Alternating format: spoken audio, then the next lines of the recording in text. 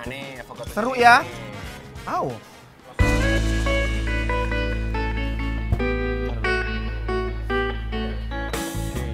Nah, Oke. Jess, Yes. aku pengen rasain ini dulu nih. Eh, Boleh dong, santai aja. Apa nih? Brokoli goreng ya? Enak banget. Ini brokoli, jadi brokoli digoreng terus di, eh, pakai tepung apa namanya? Tepung roti, guys. Cobain dulu ya, guys. Bismillahirrahmanirrahim.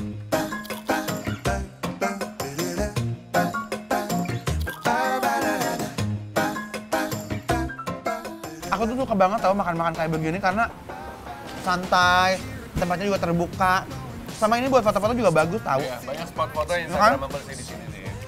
Tapi makanannya enak-enak ya. Brokolinya Menurut enak aku sih. guys, karena ini tempatnya tuh buat chill gitu, jadi makanannya juga nggak terlalu berat disesuaikan. Iya. Ini brokolinya tuh kayak udah brokoli aja sama tepung roti. Ya, jadi tapi kayak brokoli di dalam tetap berasa Seger ya. eh, apa namanya berasa sayurnya gitu, nggak yang jadi kering banget sih. bener, aku Beda suka sih. banget sih.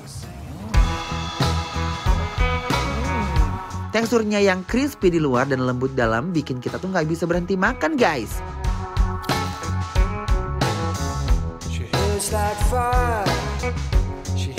Ngemil crispy brokoli kayak gini juga bisa nambahin list 9 sehat yang bisa kita makan sehari-hari guys. Nah, kalian popcornnya guys. Ini chicken, chicken popcorn ya? Iya, tapi dia tuh kering banget. Dia punya tepung best quality banget loh guys.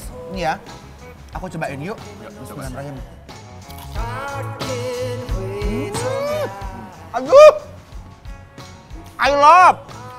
Apa ya? Dia nggak kering, Bener. tapi kayak ini kulitnya deh. Bagian Apa? kulitnya nggak sih? Ada bagian kulitnya, Ada bagian kulit, ada bagian daging ada ya? bagian ayamnya, ada bagian daging juga. Menurut aku guys, dia punya kualitas tepung bener enak banget. Dia begitu digeruk, di- dimakan tuh grauk-grauk gitu loh guys. Nih ya. Tapi di Bismillahirrahmanirrahim. dalamnya tetap berasa kenyal-kenyal gitu. Hmm, I love. Chicken popcorn ini aku rekomendasiin banget buat kalian yang bakal nongkrong di sini guys. Ukuran chicken popcorn yang cimit-cimit ini bikin kita nggak berasa kalau udah makan banyak banget. Kita cobain chicken wingsnya, Anjas. guys. Wih, wih, wih. Kau pilih paha, Paha, kamu aku dada, eh sayap. sayap ya. Cobain pakai sausnya guys, cocok-cocok. Bismillahirrahmanirrahim. Emang kalau ayam diduetin sama sambal is never fail guys. Bikin pengen kita gerogotin terus semua chicken wing ini guys. Tepungnya juara banget. Aduh, Gusti Endul. Dia tuh punya ayamnya juga. Unboxing. Tuh, kita unboxing.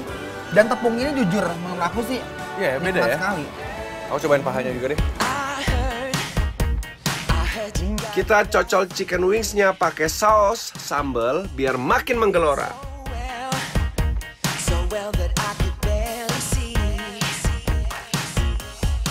Ini ada nachosnya juga guys. Dia tuh pakai mozzarella gitu di atasnya. Terus ada daging cincangnya. Ada daging cincangnya juga kayak bolognese bolognese gitu. Kita langsung aja cobain ya guys. Bismillahirrahmanirrahim. Nachos tuh kering banget. Sama bolognese itu juga enak loh guys. Pokoknya aku suka banget ngabisin weekend aku di cafe ala-ala Santorini ini. Buat kalian yang mau nyusul kita langsung aja cek alamatnya ke Instagram kita di @bikinlapartransTV.